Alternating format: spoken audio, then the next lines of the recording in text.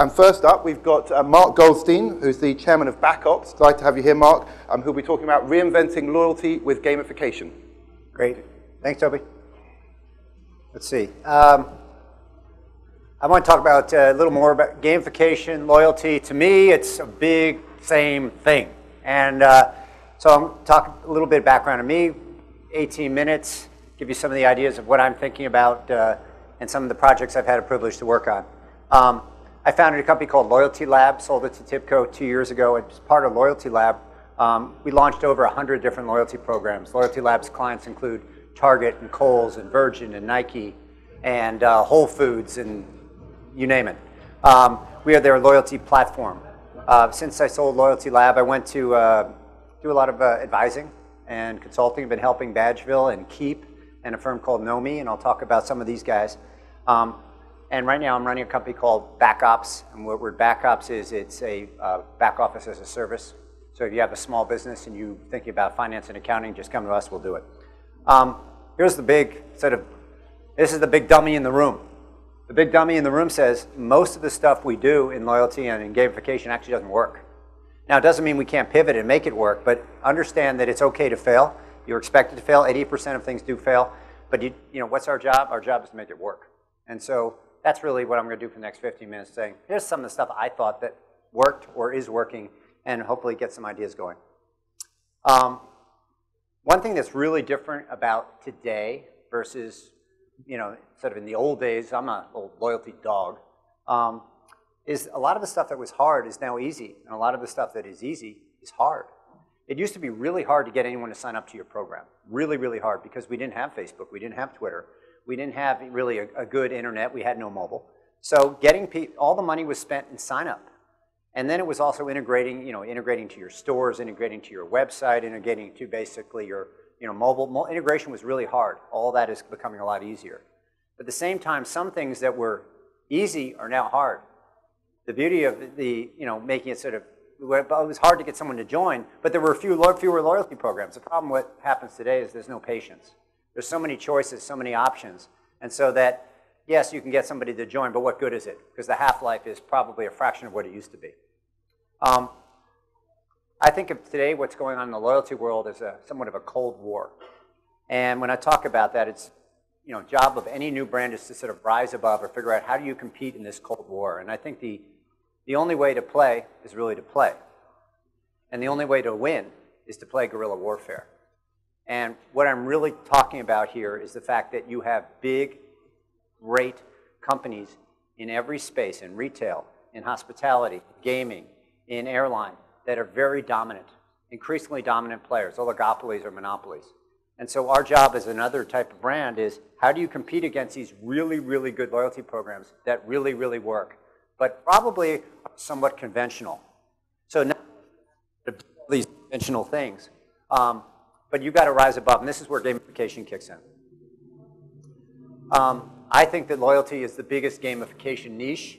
You know, when I think about what you can do in gamification, to me, selling stuff, and that's loyalty, is really number one. And uh, we were always measured, and we continue to be measured by our success at Loyalty Lab based on how much more stuff did we sell today? How type of lift is your program getting? Don't lose sight of that because that's what all of this is about. And you've got, you know, so you think about gamification and loyalty, they're all munched together. Gamification is the new loyalty. And you've got billion dollar loyalty programs that are basically driving key revenue across all the key sectors worldwide. And so think that's, that's just how I think about this stuff, which is what can I sell today? and how can we sell more, you know, using with a great loyalty program. So here are the things that I really love and think that are really sort of seemingly have worked and, you know, sort of very topically today. I think that today, if you're going to rise above some of the things you absolutely need to do, is you've got to basically think, obviously, social, but you have to think about collecting friends to accomplish shared goals. I think that's really important, is then that's sort of embracing social and getting everyone sort of together and involved in things. Um, creating incentives to get people to visit whatever you're trying to get them to visit every Friday. And when I say Friday, it doesn't have to be Friday. Remember uh, Prince Spaghetti, which was, you know, Wednesday is Prince Spaghetti Day? Well, that, why was it Wednesday? Because that's when no one ate spaghetti. So whatever you're trying to really do, just focus probably on your sort of low traffic day and use your loyalty program to drive traffic on those days. The same way the airlines get, you know, focus on, you know, you can get those 25,000 uh, mile flights on Tuesdays and Wednesdays, but not uh, Friday night. Uh, using diminishing rewards to drive urgency, basically make sure that clock is ticking. Make sure it's ticking down. Get people motivated to do what you want them to do. And, you know, 10, 9, 8, 7, 6, boom, or nothing. Um, mass goals where everyone wins or loses. Again, getting everyone together and getting people to sort of pool their currency, pool their rewards, pool, their, pool, whatever they're earning together. Um, it, again, it just gets a lot more excitement and virality going. Leaderboards, well, obviously we're at the, you know, we're at leaderboard ground zero here. Um, but it's leaderboards that commit communities, any type of community against each other. It could be schools, teams, bars, whatever it is. You got to do this stuff. You know, this is from our, our old slide at Loyalty Lab. Probably 10 years we had a similar type of slide, and I call it the nudge. And if, it's hard to read, but you know what you've got here is you always, any program's the same. You got somebody out there who invites some of her friends in the group to sign up, who basically at some overtime might be doing something, might be visiting store, might be buying something. They basically gets badged or rewarded. They visit or they buy or they, they refer more people. They get more rewards. Time goes on. You've got to nudge them to do more things. And at the end of the day, hopefully they win a prize or reward or do something or they fall off. So every program is really all about that. And, but today there are a few great things that I wanted to talk about. And I think you know, a lot of people know a number of these things. I've always been a huge fan of what Shopkick and what Cyril and the team have done down at Shopkick, which is basically kicking people into stores with a sort of coalition loyalty, loyalty app. It's got amazing gamification. And if you're a brand and you have any type of physical presence, you got to do your own Shopkick. So you can go out to these new companies called Euclid, another company called Nomi, and you can add location, basically location-based intelligence to whatever program you have today. I don't think if you have anything physical that you can launch, launch a program today and not do this. Because a key part of of a program is getting people, is pushing people into your physical point of presence to get them to buy things. And Euclid and Nomi are both great companies. They'll license you the technology so you can build your own personal Shopkick. You got to do that. What else has been great? Recycle Bank has, all, has always been awesome. I, when, I, when I knew these guys from uh, Points.com, and they said, oh, we're going to start a, you know, a, a, loyalty program to get people to recycle more, I laughed. I said, good luck. Um, but thankfully, it actually made a difference. And I actually got, worked with Waste Management to build their own version of this program. And when you think of using basically gamification and loyalty to get people to do good things, um, obviously that basically is on trend, and it's an important thing to consider. Um, Badgeville, I'm involved with Badgeville, and Badgeville's sort of premier client, I think, is Samsung. And what they're doing with Samsung is, is actually really important. I had earlier on, I had worked with Dell and tried to do the same thing, but these are different times, and it's so much easier to have to launch and build successful programs today than it was.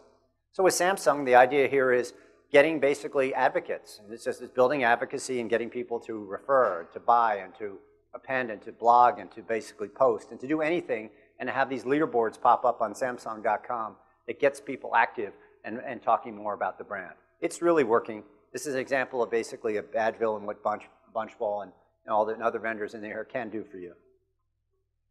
Um, you know, another count is I love this new company called Mango Health. Mango Health behind the scene has basically built a gamification loyalty program around a database of food types and medicines that can't be mixed. And the whole idea here is someone could go to WebMD and find out, oh, what I shouldn't be eating, what I should be eating, how to, how to stay healthy. But actually, Mango Health has made it fun. And it's a really, really fun app that you can cart around with you and so to make sure if you have any, you know, if you're allergic to certain things, Mango Health will make it fun to find those things. So I encourage you to take a look at that. I really like what these guys are doing. I love what these guys are doing. And anyone if, um, who's based, how many people out there are, are members of Strava? Three. I would have figured a 100. Strava, well, in San Francisco, it's just weird. Uh, I mean, Strava is in the you know, downside, it's actually killing people. On the upside is that basically it's taking cyclists and runners and basically pitting them all together um, to compete and to earn badges and rewards and to be king of the whatever. And behind the scenes, Strava is starting to basically get into commerce and is building a basically a really, really powerful gamification loyalty program around um, athletic in, uh, pursuits. And so if you haven't seen Strava, it's really rich, it's really, um, it's incredibly viral and really instead of intensely used locally.